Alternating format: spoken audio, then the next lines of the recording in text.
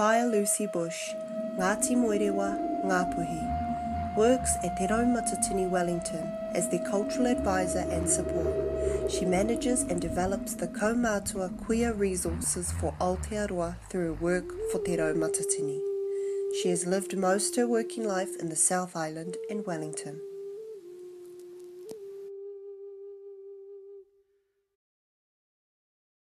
Ah, ko tautoro e te mainga, nā ki tere te awa, ngā toki ma te whairua te waka, ngā ti moiro e te hapu, ngā pui te iwi.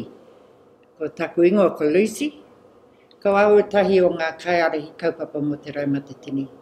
Ngā re re mihi nui tēnei ki a kau te katoa.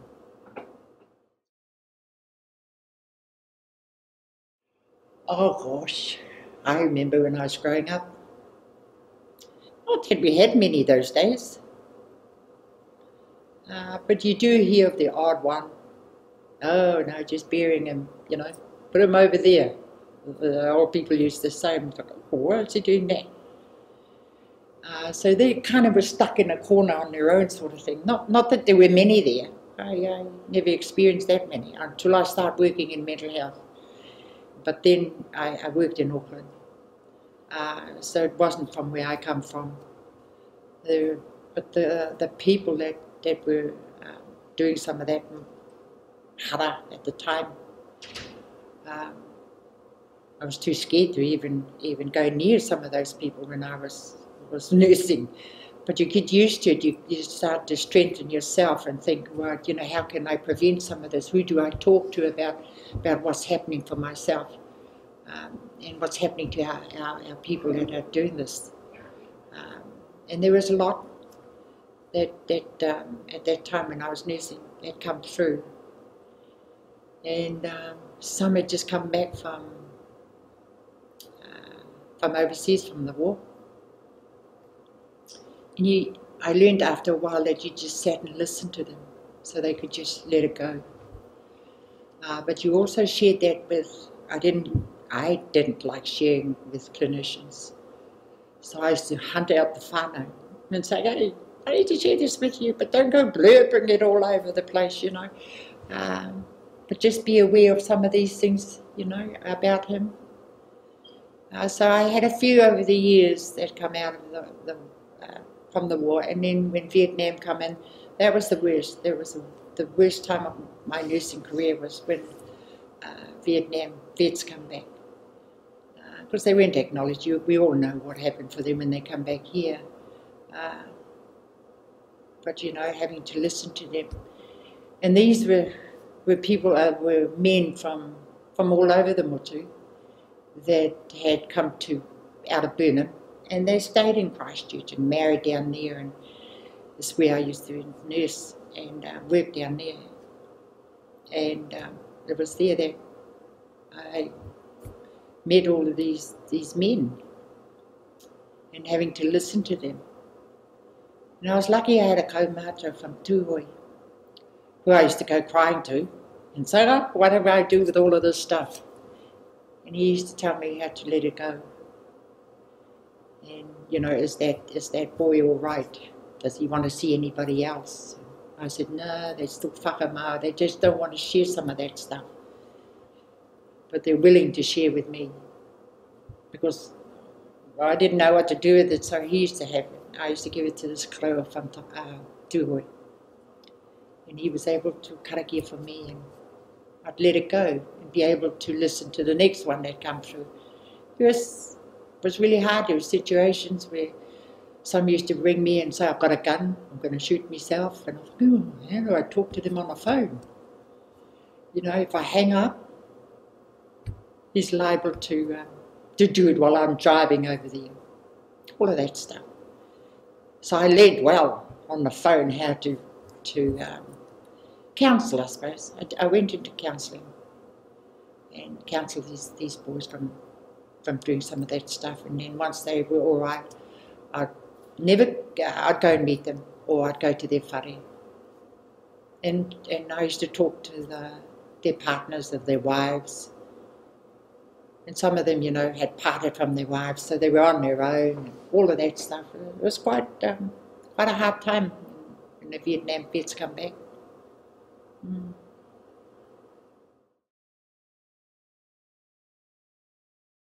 Who'd ask for help?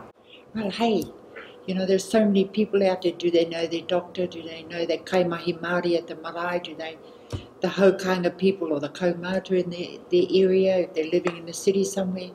Uh, you know, to make contact with those people, you know, to be involved in community huis, be involved in, uh, in uh, well, any that's going out of marae. You know, that's one thing I know about marae is they don't turn you away if you arrive at a hui. Um, you, you, just sit and listen, just become one of them. Uh, and, and, you know, have input because they'll always acknowledge you. Uh, and I think a lot of our people just don't. Well, I suppose there's still mataku to go to the, the marae. But other than the marae, there are Māori, kaupapa Māori services out there that can help them. Uh, their own doctor who should have a list of all of those areas where they can visit. Uh, their minister.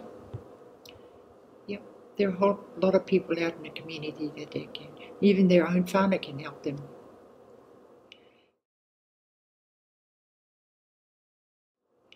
And the signs of our kaumata when they're getting unwell they're or having to look at suicide within their whānau.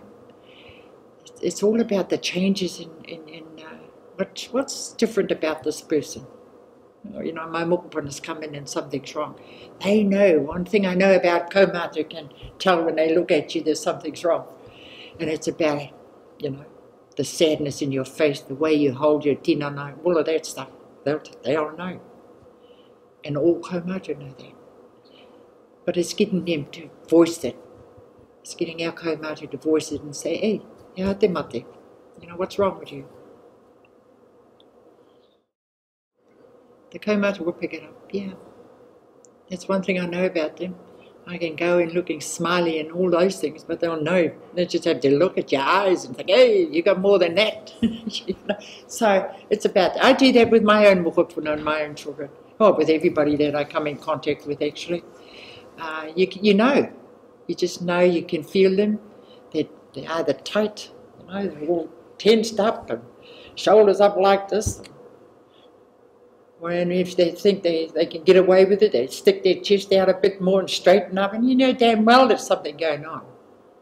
Or they can't sit still, they're jigging up and down and roaming around and clicking on their cell phones, and, which is something that technology has to, our kids are, are so used to talking to one another on, on their cell phones.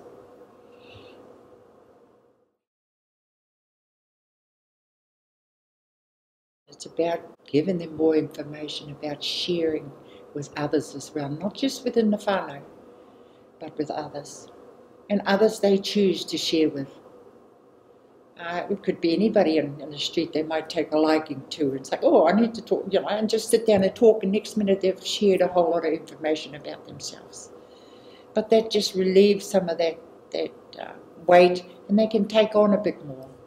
So resilience you need some good people around you. Uh, and there's always one in, in, in any whānau. There always is one good person in a whānau that will give that knowledge base over or share with the kaumata. Vice versa, the kaumata might be that person.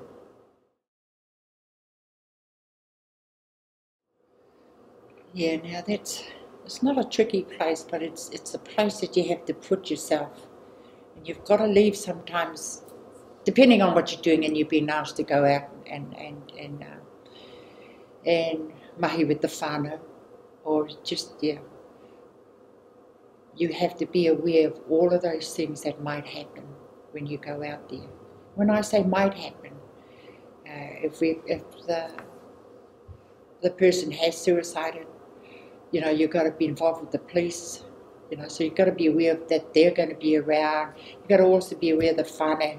You normally know which one to go to. When I say normally, you know which one is organising everything. So they're the people that you kind of quietly go beside. But if you can't get to them because they're too busy organising their whānau, you go and total with the whānau, whatever that is. You could be talking to the kuia or the crow of their whānau and just, you know, just listen to them. You can't do much more than that when, when, when the, the, suicide has been done.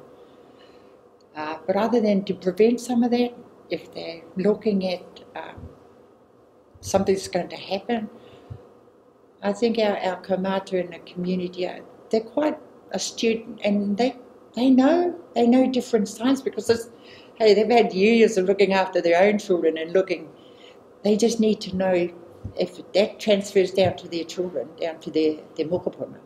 Be aware, just watch it, you know, just watch them, listen to them, read between the lines what they're not saying, you know, and ask those questions what they're not saying. But ask it in a way that it's not scary, uh, or, you know, don't yell at them. Just say, oh, you know, you can talk to me. Um, and it's about all of those things and about sometimes it's behavioural stuff depending how they, they've been brought up. Um, and that's when, you know, kaumātua are really good at, at knowing those places. And then they sometimes they get into the blame thing, they start blaming themselves. That's the hard part when it goes back to the kaumātua, with the koroua kuia, when it's all about, you know, if I had done this, if I had done that, this mightn't have happened. Uh, so as to make them aware of those things as well, you know. You know, because I was at a hui last week and they come in to get our, our, our to do a karakia. Uh, yeah, it was another young person that had hung themselves, you know, those type of things.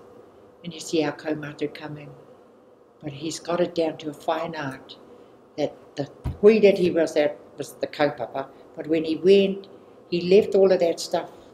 When he went to do his karaki, he left it outside the door and he come in. And you wouldn't have known that he'd been off to do a karaki and, and to do the things he had to do with the police and the whānau. And when he come back in, he just sat down like he had never left us until we finished our hui, our kaupapa.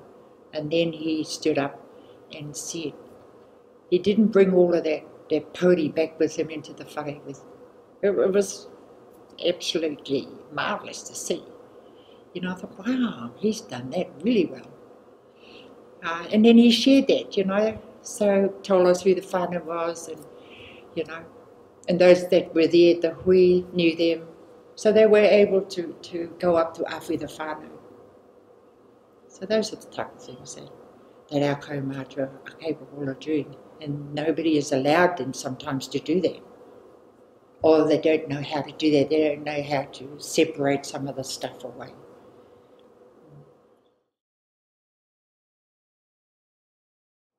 Mm. What makes resilient people? They're whānau.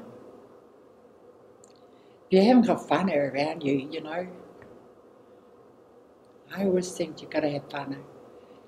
But if you don't belong to a whānau, you know, you, you create your own whānau wherever you might be. And you, you do pick up, not pick up, you do align yourself to people that have of the same thinking as you, of the same place that you might come from, or know those areas. Uh, and the health of, of those those people, how do you keep healthy? And to share that information, that knowledge. Our people are getting better nowadays of sharing their, their knowledge um, which I enjoy listening to our rangatahi. You know, how do our kaumātua react to that? Um, you know, you, it's about our understanding that our kaumātua are from another era. Uh, but they also have to learn about where our rangatahi are coming from. Especially if that's their mokopuna. How do they relate to their mokopuna? So that they build up a resilience about how they do that. for, for kaumata, yeah, whānau is always their well-being as well. Without their mokopuna, you know, hey, who, who do they pass all that, that whakaaro on to, their mātauranga on to? And um, their well-being is always of importance to our kaumata.